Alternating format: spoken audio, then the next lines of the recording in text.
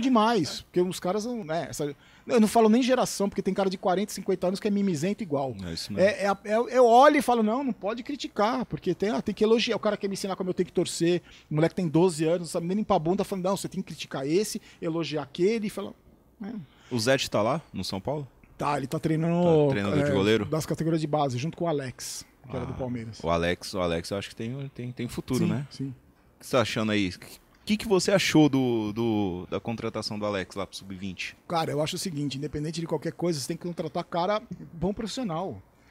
O Alex nunca desrespeitou o São Paulo. Ele fez aquele. Até ele fez um puta golaço contra o Rogério Senna, que ele chapelou o Rogério Senna. Golaço mesmo, né? Nunca desrespeitou o São Paulo. Nunca Porque o foi. Alex é mais identificado com a torcida do Palmeiras. Sim, né? é, é, assim. com o Curitiba e do Palmeiras. Curitiba, não né? tem um cara, não é um cara que desrespeitou, não é um cara que e é um cara que foi se- tá se preparando para ser treinador. Ele fez curso e é um cara que O tem cara uma que toda a torcida gosta, né? Exato. Você é corintiano, o São Paulo também E ele, gostava dele. exato, porque ele nunca desrespeitou ninguém. Ele sempre É. foi respeitoso com o Palmeiras e com os outros clubes.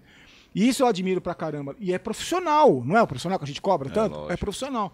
E o cara tá se preparando. E ele tem ideias legais pro futebol. É diferente de você contratar um cara que foi um jogador inexpressivo. Que, você contrata um Diniz da vida. O Diniz é quem no futebol? Jogou aonde? Chupou laranja com quem o Diniz? Com ninguém. O Alex não. O Alex tem uma trajetória no futebol. Tem uma- e tá se preparando, entendeu?